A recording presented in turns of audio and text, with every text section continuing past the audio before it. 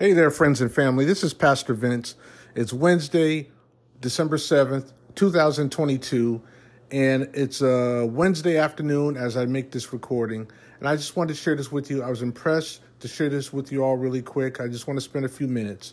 And that is one of the topics that is constantly debated within the body of Christ, within the Christian church, amongst Christians all over the world is the topic of the Sabbath. Should we still keep the Sabbath? Was the Sabbath done away with? Oh, the Sabbath was an Old Testament thing.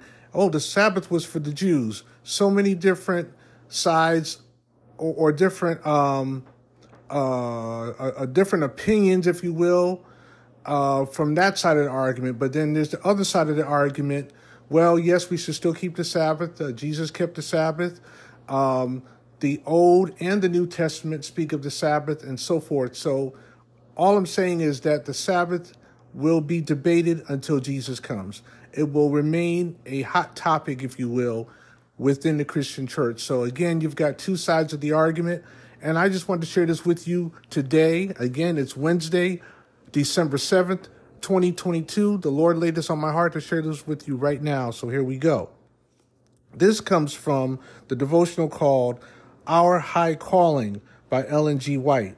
And this is actually from from December 5th uh, devotional. It's a devotional, Our High Calling. It's from December 5th, but this is applicable any day of the week. So I just want to share this with you today on the 7th of December. This is called A Distinct and Peculiar People. Again, this is from the devotional Our High Calling by Ellen G. White. A distinct and peculiar people. Our Bible verse is Revelation 14 and 12. Here is the patience of the saints. Here are they that keep the commandments of God and the faith of Jesus. Now, did you recognize this is from the book of Revelation? We know that the book of Revelation is found where? In the New Testament. So again, the Sabbath is spoken about in the Old Testament and the New Testament. And this verse happens comes from the book of Revelation. Anyway, Revelation 14 and 12, I'll say it again. I'll read it again. Here is the patience of the saints. Here are they that keep the commandments of God and the faith of Jesus. Revelation 14 and 12. God's people are to be distinguished as a people who serve him fully, wholeheartedly, taking no honor to themselves, and remembering that by a most solemn covenant they have bound themselves to serve the Lord and Him only. The children of Israel were to observe the Sabbath throughout their generations for a quote, for a perpetual covenant. That comes from Exodus 31 and 16. So there we go. There's an Old Testament scripture, an Old Testament verse, Exodus 31 and 16. So far, we've got a new, we've got an old.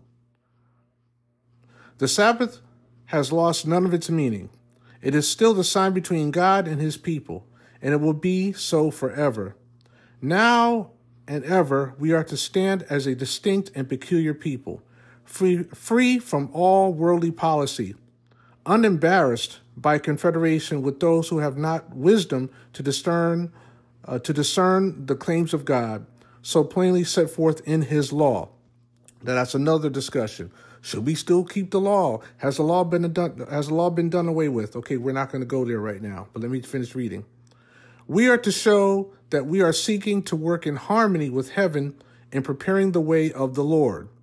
We are to bear witness to all nations, kindreds, and tongues that we are a people who love and fear God, a people who keep holy the seventh day Sabbath, and we are to show plainly that we have full faith that the Lord is soon to come in the clouds of heaven.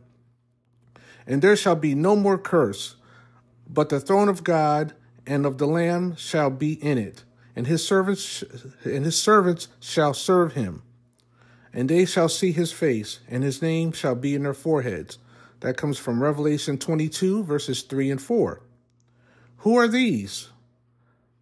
God's denominated people, those who on this earth have witnessed to their loyalty. Who are they? Those who have kept the commandments of God and the faith of Jesus, those who have owned the crucified one as their Savior. All there shall be, I'm sorry, and there shall be no night there, and they need no candle, neither light of the sun. For the Lord God giveth them light, and they shall reign forever and ever. Verse 5 of, of the Revelation. Uh, Blessed are they that do his commandments, that they may have right to the tree of life, and may enter in through the gates into the city. From verse 14. Again, I just read for you from a distinct and peculiar people from the devotional Our High Calling by Ellen G. White. So, friends, uh, there you have it, as they say, uh, there you have it. I said in the beginning, there's two sides of the argument. We don't have to keep the Sabbath anymore. It's been done away with. That's Old Testament law, etc., etc., etc.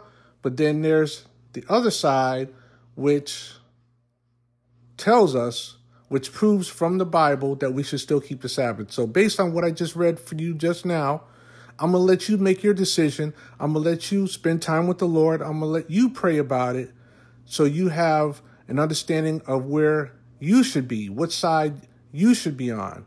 So, I'm not going to tell you what side you should be on. I'm going to let you make that determination when, after you spend time with the Lord and as he directs you and guides you, okay? But from his word, I just read several verses for, uh, for you from the Old and the New Testament.